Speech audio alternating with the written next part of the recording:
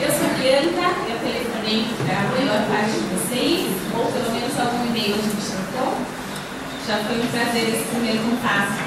E a nossa ideia, antes da gente começar, ou a nossa ideia de começo, é que cada um se apresente brevemente. Então, todo mundo fala seu nome, de onde veio e o que busca aqui no curso, qual a motivação para ter vindo. Querem começar aqui? Acho que eu vou começar de lá. Oi, bom dia. Meu nome é Ana, eu sou jornalista. Eu trabalho no Mercado Terceiro, na Editora Abril, que é uma organização com educativos pela educação. É, minha motivação, acho que é, sei, talvez refletir mais, porque eu sempre me interessei por tecnologia, pelo potencial que a tecnologia traz de conexão, mas acho que nunca parei muito para pensar é, nitidamente de que talvez essa apropriação não, não seja um dado natural. Acho que aqui para refletir e estudar um pouco mais sobre isso. Bom dia, sou a Mariana, sou jornalista também. É, eu comecei a trabalhar na R7, na, na editoria de educação, mas já trabalhei em outras áreas, com educação, com outros lugares, com a cobertura de educação também. E acho que o meu objetivo no curso é entender também mais essa, a, essa essa proposta de utilização da tecnologia de maneira efetiva e não tão só de maneira positiva né, na, área da educação, mas não tão mais crítica também, não só entusiasta. Assim, acho que é isso que eu estou tentando buscar aqui. Bom dia, meu nome é Elisa, sou jornalista, sou editora da revista escola. Bom, acho que eu estou aqui para buscar um pouco mais de informação com relação a esse debate de direitos humanos e educação, que me interessa bastante. E acho que de ampliar um pouco mais os meus conhecimentos com relação a esse paradigma de direitos humanos versus tecnologia, tecnologia. É um tema que eu gostaria de estudar mais para frente no mestrado, de aprofundar um pouco mais. Meu nome é Fernanda, eu trabalho numa ONG de educação e principalmente no projeto de formação é, de profissionais que trabalham com jovens. Eu trabalho com algumas tecnologias, como o Facebook, para interagir com os jovens no projeto. Então, a minha ideia é um pouco também, assim como as, as outras colegas, é também ter um, um, uma reflexão, buscar uma reflexão é, sobre a intencionalidade da, da, tecnologia na educação e também, acho que, incorporar um pouco dessas discussões mais macro mesmo sobre direitos humanos é, e um, um, uso mais crítico mesmo da tecnologia. Gente? Meu nome é Thaís, sou curadora, psicóloga. Atualmente trabalho numa fundação da área de educação popular e formação social também. Estou num projeto para formação de professores, na verdade, educadores. Sim, comecei também há pouco tempo. O curso veio encontro com isso, assim, tudo na minha vida, e aí, o que eu vou fazer também nessa, nessa formação, e aproveitar aqui, né, que, a gente vai pensar tudo que se relaciona a direitos humanos, como os direitos humanos também podem ser melhor, sei,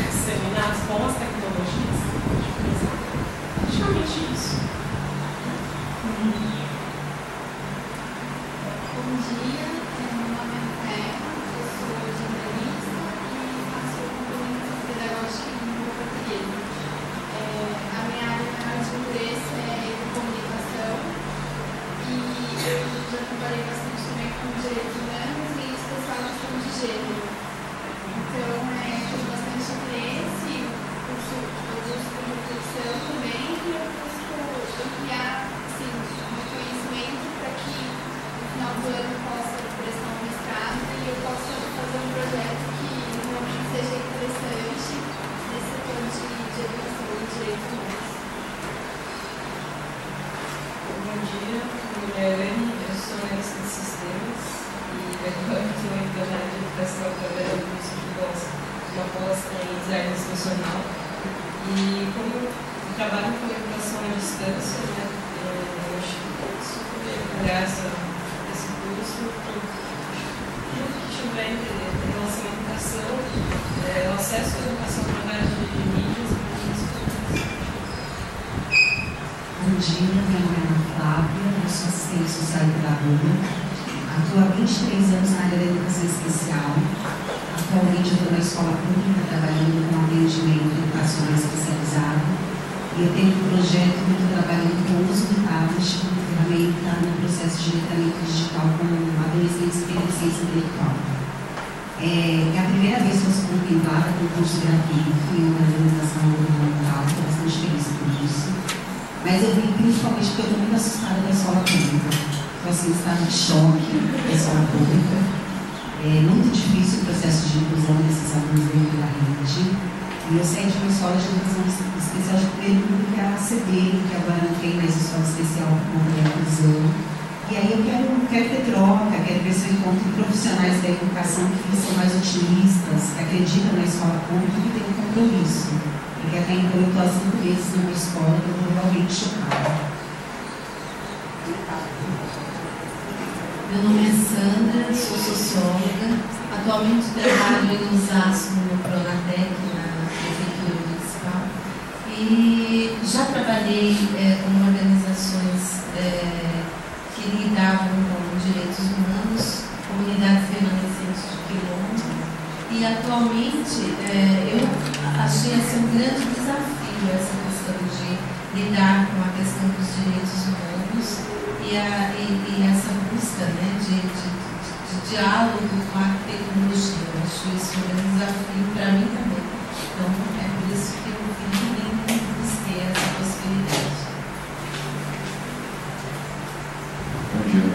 nome é sou professor de geografia, é, também sou da rede pública do Estado e, como a minha colega, eu estou assustado com, com a rede pública estadual especificamente. E a minha intenção é levar esse curso para dentro da escola, de alguma forma, a tecnologia e, e a questão da educação também. Bom dia,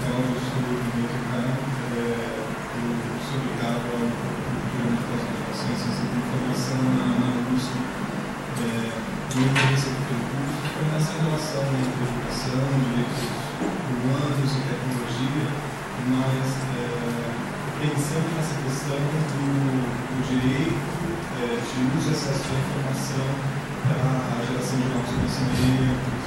Eu sou ligado a, a, uma, a um movimento que a gente fez para a valorização de bibliotecas públicas, a académica para fazer uma ponte para isso. Bom dia, meu nome é Maria Cecília, eu sou professora de Sociologia na rede do Recife, em Osasco, e também como a Ana, eu já estou bastante assustada com situação da nossa escola pública e também buscar soluções para trabalhar com a questão da tecnologia na sala de aula e também defender o direito à educação.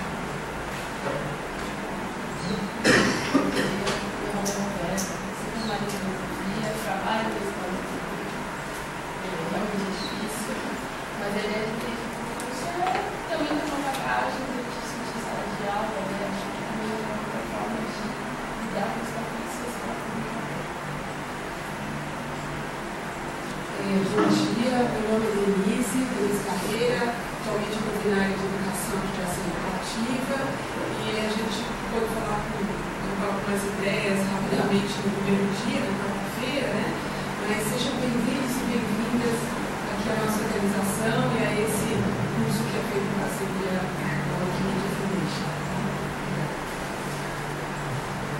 Eu sou Alexandre, dos colaboradores aqui também nesse curso. Espero poder aproveitar para trocar umas experiências que eu tenho com essas questões todas que eu estou